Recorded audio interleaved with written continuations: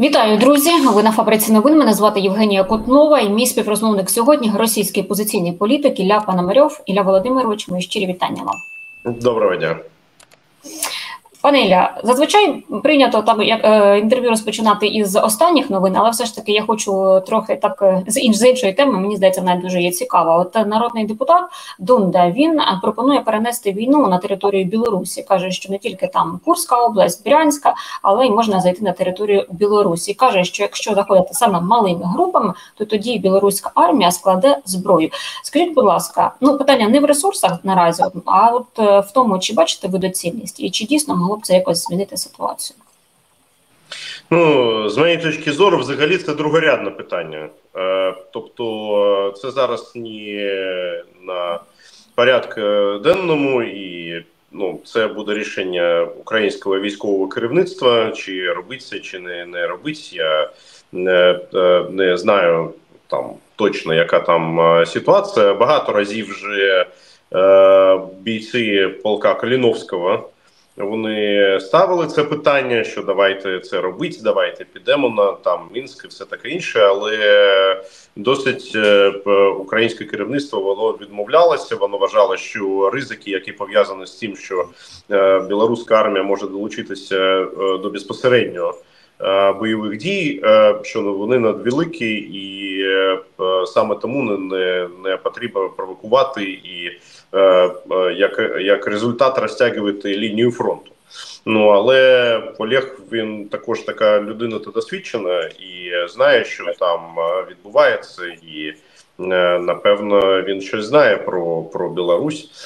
З моєї точки зору, Лукашенко зробить будь-щось для того, щоб безпосередньо не долучатися в війну. Він буде завжди там допомагати Росії, предоставляти територію для е, нападів, але безпосередньо, щоб білоруська армія долучилася до війни, я вважаю, що він цього е, не зробить. Він е, намагається пересидіти Путіна. Він розуміє на, на наскільки його там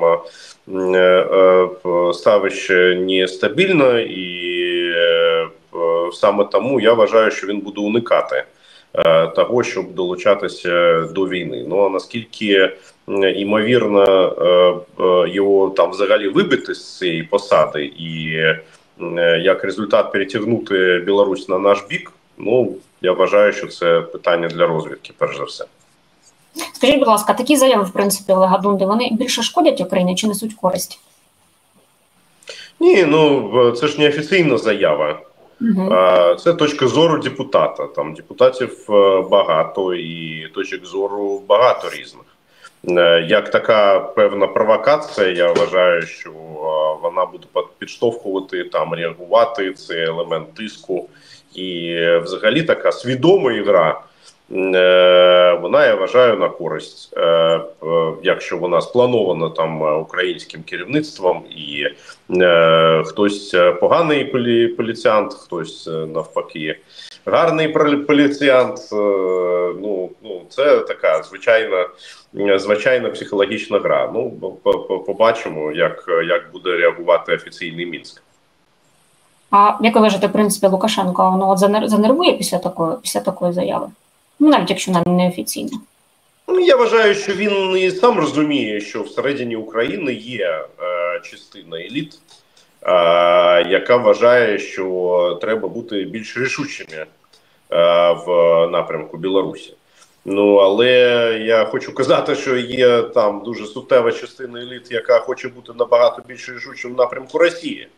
І е, з точки зору знищення цього режиму, але вони не в більшості зараз. І е, Е, ну тобто, всі люди, з якими я спілкуюся, там і в офісі президента, і в Верховній Раді, і в различних силових структурах, вони всі підтримують ідею, що ця війна без знищення путінізму вона не може закінчитися, але е, там якісь рухів та в цьому напрямку просто не відбувається. Ну саме так і Лукашенка я вважаю ставиться до ймовірності, що це відбудеться в напрямку Білорусі. Курська операція вже більше двох місяців вона триває. От які підсумки для себе підводите ви? Ну зараз е, вона перейшла в таку позиційну стадію. Ну знову тут питання в тому, що я не воєнний керівник.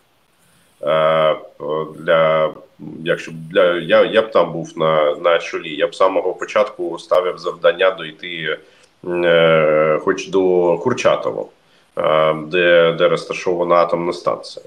І е, судячи за те, що там е, люди були е, вже, я вважаю, українські військові вже були на межах цієї станції, то я вважаю, що це це завдання воно можна було б бути і вирішено. З іншого боку, з самого початку я вважав і вважаю досить, що Е, було б доцільно е, долучити до операції там Легіон Свобода Росії, РДК та інші російські підрозділи. Ну і щоб знизити е, навантаження на українських військових. Ну і там покращувати стосунки з місцевим населенням і уникати міжнародної критики там щодо мовляв там окупації е, е, цих цих територій. Ну але також е, це чомусь не робилося і не робиться зараз. Чому ну я вважаю, що знову там українське керівництво воно воно знає, чому і що це їх свідоме рішення. Росіяни там зосередили велику кількість свого особового складу за різними оцінками. Так, це близько 50 тисяч е, військових. Скажіть, будь ласка, але тим не менше, так ось ці дедлайни, які ми постійно бачили в змі, путінські дедлайни мається на увазі вибити збройні сили України до до 1 жовтня, потім до 15 жовтня. Про що свідчить? Ну тобто про який стан речей в російській армії? Свідчить про те, що бажати вони можуть це зробити і ні. Е, тобто там певна воєнно-політична імпотенція там присутня. Е, і, звичайно, у них не вистачає пані сил, ані професіоналізму, щоб виконати такий наказ. Ну, але знову з одного боку, ми самі ми вирішили дуже важливе питання. Ми зараз уникнули можливості тиснути на нас е, щодо там переміря е, е, по діючій лінії зіткнення. Тобто зараз, якщо будуть відбуватися якісь там мирні перемовини, то вони обов'язково будуть містити обмін територіями, і це звичайно дуже корисно для нас. Я вважаю, взагалі ці перемовини це навряд чи для нас корисно, але якщо вони відбудуться через те, через інші е, е, причини, то те, що буде обмін, це безумовно позитивно. Але е, можна було б досягнути багато чого іншого і. Е, Ну, взагалі, я я бачу, що українське керівництво воно стоїть на дуже україноцентричному підході. Е, е, е, тобто нас турбує те, що відбувається всередині України, а те, що це є. Наслідками певних процесів, які відбуваються навколо, ну це вже інше питання, і до до, до, цього ми там серйозно не долучаємося. Але а, все таки безпека Е, е, України вона цілком залежить від того, що буде відбуватися всередині Російської Федерації. Чи вона буде там розпадатися, чи вона буде зберігатися, чи вона буде залишатися імперією, чи вона буде децентралізована, чи вона буде демократична, чи вона залишиться авторитарною. Це все буде впливати на те, що відбувається е, в середині України. Звичайно, в обставинах там повномасштабної війни. Е, е, це е, чудовий чудові підставини для того, щоб безпосередньо туди впливати. Ми можемо впливати, і у нас багато різних інструментів для впливу, але вони всі використовуються виключно в військовому сенсі, а в політичному сенсі вони ну майже майже ніяк не використовуються. Ілля Володимирович, ви сказали про те, що якщо відбудуться перемовини, то ймовірно буде обмін територіями. А так, а до чого все йде? От судячи з того, що ви бачите так на сьогоднішній день, реакцію на план перемоги президента Володимира Зеленського, так майбутній Раймштайн, який наближається, багато публікацій знову ж таки у змі. Тобто до чого все йде? Ну я вважаю, що треба тут не квапитись, бо офіс президента ж сказав, що ось ми зараз презентуємо план перемоги. Потім ми його будемо доробляти, і потім ми вже будемо його оприлюднювати. І я вважаю, що це не випадково, бо ну те, що ми чули до цього, це явно неповний план перемоги. І е, він так не виглядає, і він дуже простий, і ну е, так не можна перемогти. Це там е, скоріше план вимог від заходу, що йому потрібно зробити, щоб допомогти Україні. Це знову це правильні вимоги, але це не план перемоги. І саме тому потрібен набагато більш детальний. Е, план з е, там підробицями, дрібницями, як буде досягатися та чи інша чи інша мета. Якщо такого плану не з'явиться, і якщо він не буде презентований е, відповідним центром отримання рішень, то я вважаю, що тиск домовлятися буде посилюватись і Е, е, вважаючи на те, що там буде дуже важка зима е, попереду. Я вважаю, що цей тиск може привести і до того, що такі перемовини, врешті-решт, відбудуться. А тиск посилюватиметься, незважаючи на те, хто переможе під час виборів у Сполучених Штатах Америки. Я вважаю, що не вважаючи, бо він Е, іде іде повсюди, і це не виключно в Сполучених Штатах, це і в Європі так само. Е, і це вже не тільки е, там Путін Ферштеєр, ще й наші ну, справжні друзі, які говорять, може бути це до кращого, якщо ми там домовимося на там певних умовах. Є просто там ряд дискусійних питань, то там, наприклад. Е, домовлятися на умовах того, що Україна вступає до НАТО, е, чи домовлятися на умовах того, що існують е, там певні інші гаранти, і тоді це буде комбінація нового Будапештського меморандуму та мінських домовленостей, і це звичайно ну мене дуже турбує, якщо ситуація буде розвиватися в той Е, в той бік. Але якщо це буде повноцінний вступ України до НАТО, ну хто знає, це може бути і і, і, і, і справжнє таке, таке компромісне тимчасове але рішення. А яка ймовірність того, що президент Байден може дати це запрошення Україні? Я вважаю нульова. Нульова. Е, ну тобто, е, по-перше, це не виключно його рішення.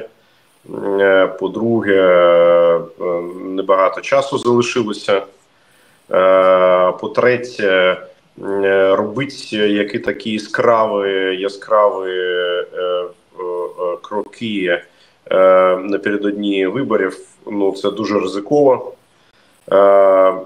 Вони б звичайно хотіли б від нас там певних успіхів, щоб казати, що вся ця допомога вона була немарною, і що це насправді допомагає. І коли відбувалися всі ці події в Курську, це насправді їм допомагає ну в їх передвиборчій кампанії, але треба більше. Ну але такого, щоб вони е, ось зробили такий ризиковий крок. Ну ні, я я вважаю, що це зовсім неймовірно. А як ви тоді вважаєте, які е, ну скажімо так проривні рішення можна очікувати від від е, засідання в форматі Рамштайну? Думаю, що будемо братиме президент Байден, і як це буде його останній участі президента США? Я маю багато сумнівів, що там буде якийсь прорив з точки зору якості, може бути прорив з точки зору кількості. Е, тобто, якщо вони вирішать е, там надати більш ППО е, сучасних та більш винищувачів, ну ось це може, я вважаю, відбутися.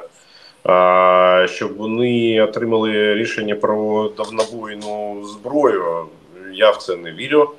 Е, ну і насправді у мене є сумніви в те, що це насправді змінює е, ситуацію на полі бою. Бо маючи на увазі можливості сучасних українських безпілотників. Я вважаю, що більшість таких завдань ми вже закриваємо і самі. Ну тобто, звичайно, буде корисно, якщо буде щось, щось ще. Е, е, але так, щоб це там кардинально змінило е, ситуацію, ну у мене є там певні сумніви. Я дуже розумію позицію та ставлення офісу президента. Президент завжди вибирає там одне конкретне завдання і б'є.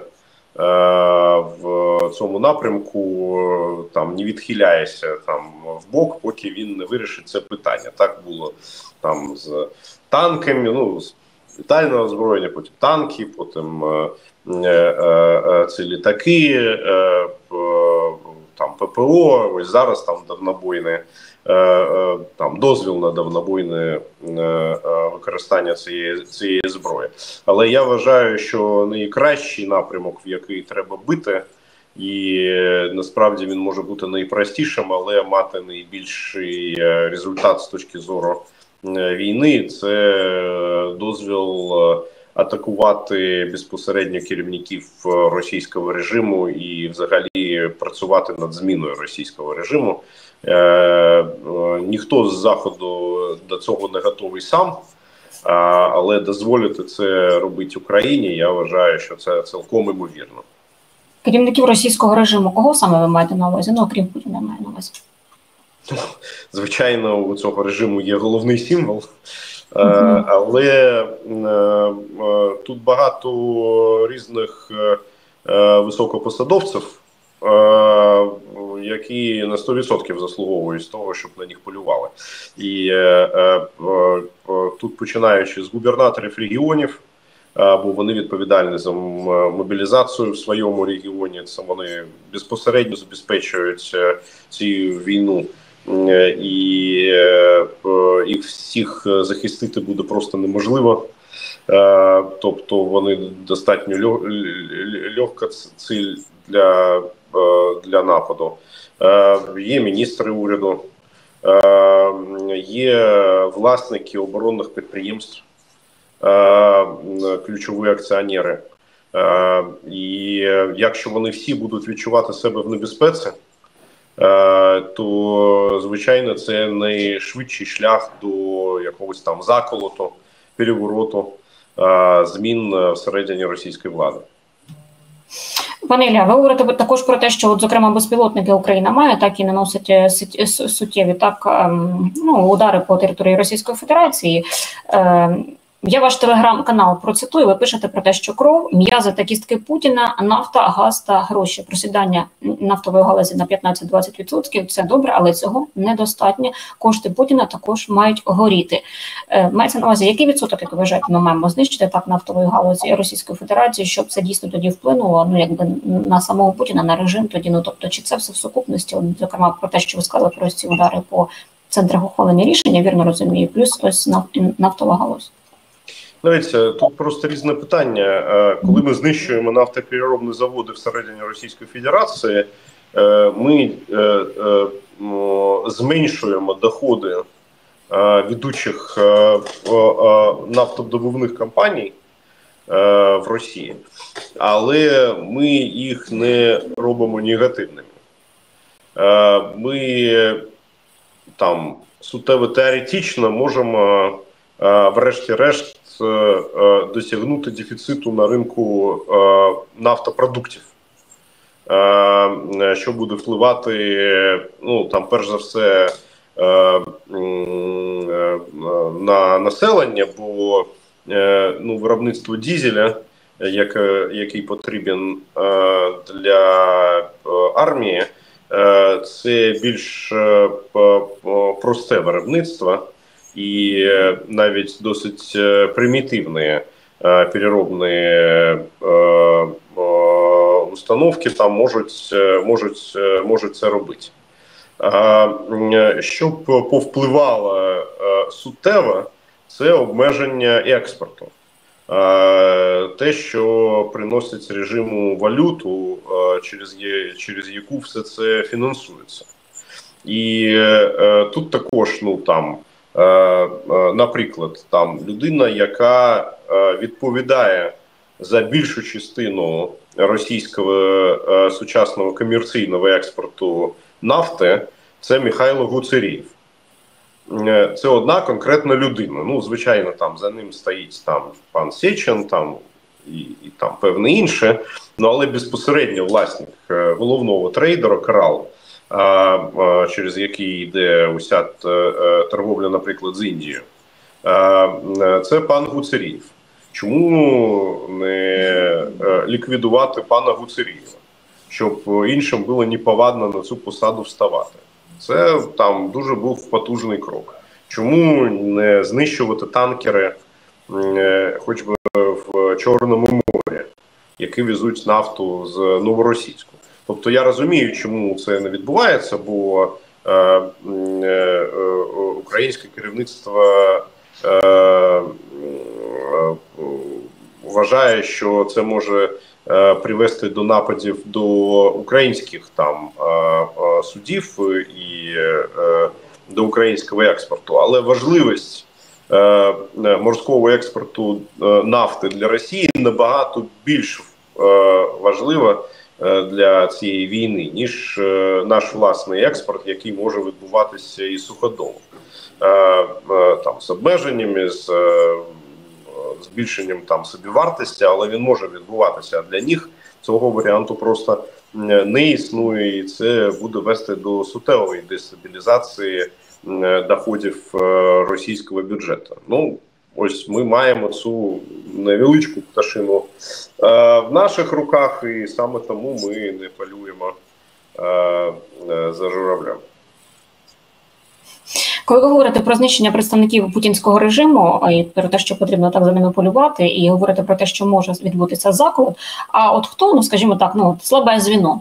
Ну хто може влаштувати панеля? Ну дійсно хто, хто більш всього грошей, хто більше всіх всіх грошей втратить, е, хто більш всіх о, відчує небезпеку, то і, і буде найбільш агресивною людиною, яка буде мається на увазі, хто хоче та, е, так посісти місце Путіна саме в його оточенні. Ну, дивіться, уся так звана ліберальна там системно ліберальна частина російської еліти, вона не задоволена цією війною. І вони всі вважають, що це помилка і що це треба припиняти. Вони всі такі. Ну тобто е, діючий уряд він переважно такий. Е, тобто там таких багато. Е, навіть в силової частині російської еліті, якщо ми візьмемо там якогось там Чемізова, наприклад, ну навіть ця людина там потенційно нестабільна. Звичайно, за ними усімами Путін уважно стежить. Він ж також рахує, де де, де може бути там потенційний потенційний заколот. Ну але коли такі настрій розповсюджені повсюду, то контролювати це досить важко. Аналітики американського інституту вивчення війни говорять про те, що у Російській Федерації планують призначити мерами та губернаторами 50 е, російських ветеранів, які знищували українців, так і посилаються на російських воєнкурів, які повідомляють, що нібито сам Кирієнко безпосередньо все це е, пообіцяв зробити Путіну. Навіщо йому це? Ну зараз е, проблема ставлення російського суспільства до ветеранів вона просто зростає на очах, бо там ж багато злочинців е, без перебільшення, просто прямих, хтось дослівно злочинців. Вони повертаються додому, вони повертаються до до, до свого звичайного звичайного образу життя. Е, І їх всі просто бояться чіпати, бо вони там під прикриттям поліції, вони озброєні, вони рішучі. А з іншого боку, е, е, там, якщо вони щось зроблять, ну що вони просто повернуться до фронту ще на на півроку, а потім знову повернуться. Тобто здавати їх поліції, там люди також е, вони вони просто бояться це робити. Ну і для того, щоб протипоставити щось ось таким настроям, коли коли ветерани це просто таке джерело небезпеки. влада хоче їх долучати до ось якихось помітних. Помітних посад демонструвати, що там є нормальні люди. Ну тобто, щоб розбити такі е, е, стереотипи. Ну і також щоб саме цих людей, е, які знову е, е, зли, небезпечні, озброєні, щоб у них також була якась там мрія. Якась там помітна ймовірність свого власного розвитку, щоб вони не перетворились на революціонерів, ну там навіть бандюгани, та ще ще окей, але щоб вони революціонерами не стали. Рекордні 3 мільйони рублів, які пропонують тепер контрактникам. От зокрема про це повідомляв губернатор Білгородської області, так Гладков. Ну тобто, це це, це про що знову ж таки? От я спілкувалася сьогодні з військовими експертами нашими, і вони говорять про те, що це вже схоже на істерію. А ви як вважаєте? Ну, людські ресурси е, вже закінчуються, вони виснажені. Е, ну але казати, що вони вже закінчилися, я вважаю, що це буде помилкою. Е, просто вартість їх е, їх зростає. Вершки вже зняти, а для інших треба сплачувати більше.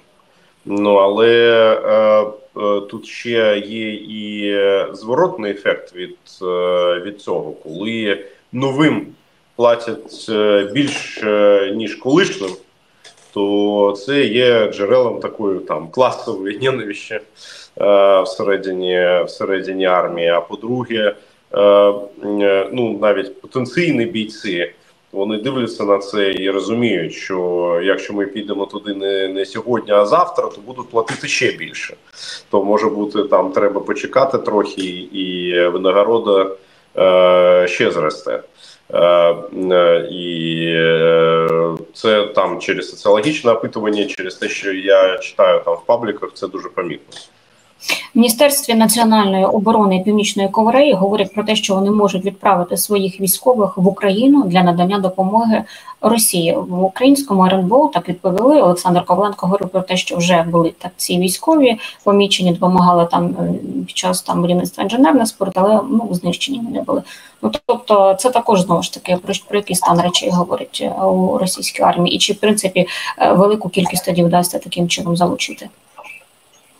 Ну, дивіться, е, проблем вистачає, звичайно, mm -hmm. і різні розвідки різних країн вони постійно нам показує одне чи друге вузьке місце. Питання у цьому, що це помічають е, ось, наприклад, ви, журналісти, але я не впевнений, що це помічається там. Е, стратегічним політичним керівництвом. Бо якщо ми побачили слабке місце, е, слабке місце, то перша реакція повинна бути, як ми можемо це використати на нашу користь. І е, що ми можемо зробити, щоб цю ланку тут розірвати і натиснути в це болючу болюче місце ще більше. Е, ось е, цього зараз не відбувається. Це не тільки питання там е, України, це питання взагалі світу, це питання взагалі коаліції Рамштайн. Тобто, у нас досить не існує централізованої групи, яка б займалась дослідженням російської економіки та армії. Ну армії з з військової точки зору, а ось з точки зору саме там постачання, е, ну з, з економічної точки зору, і створювали б такий цілеспрямований тиск. На на ті місця, через які можна зруйнувати там якісь важливі речі Е, всередині. Ну ось там е, е, там дрони в Росії не можуть вироблятись без без того, щоб там було постачання там певної електроніки, наприклад, і ми знаємо, звідки ця електроніка приходить. Ось там що це цікаво, там після потрапляння е, цього шахеду до до мого будинку. Я там розібрав усі деталі, які там залишилися на на точці вибуху. Ну там є певні деталі, які ну просто ось ось там те з Арабських Еміратів, на, на, на, наприклад. Вони цивільні деталі, ну які там використовуються, і які просто так замінити буде дуже важко. Е, припинить постачання цих деталей, вони не будуть літати поганці. Е, ну але це це, це треба цілеспрямовано на це натиснути. Пане якщо дозволите, ще одне запитання на завершення нашої розмови. Ну тобто нова хвиля мобілізації, ймовірність того, що Путін на це піде. От я раніше спілкувалася із Геннадієм Гудковим. Так він говорив про те, що воєнкомати е, вже до цього готові. Саме до е, тільки тільки чекають команду, якщо така буде. Може наважитись Путін чи ні? Ну оголосити мобілізацію. Я майже впевнений, що він цього робити не буде. Угу. А по факту мобілізовувати людей, ну так він це і робить. А, ну, Просто може бути там не там не не, не, не дуже масово, ну але це він робить. Він буде звичайно уникати будь-чого, що повпливає на суспільну думку, що буде турбувати людей, що ну, хай вони сплять і далі. А, а, а, Але то по факту. А, направляти більше людей на фронт. Ну і зараз це відбувається через е, призив е, срочників. -hmm. Ну але це може бути і поширеним, звичайно. Ілля Володимирович, будемо слідкувати за тим, як будуть розвиватися події. Звичайно, будемо аналізувати. Я щиро дякую вам за всі ваші цікаві відповіді. Дякую за те, що ви знайшли та приділили свій наш час нашим глядачам. І Дякую вам за вашу гарну українську мову. Це також важливо. Так, дякую, дякую вам. Дякую, так. Так, давайте подякуємо нашим глядачам. Це також важливо. Друзі. Я нагадую, підписуйтесь, будь ласка, на нашу платформу. Підпишіться на ютуб канал Утра Февраля. Ще раз всім дякую за увагу і до зустрічі у наступних ефірах. Дякую. Дякую, до побачення.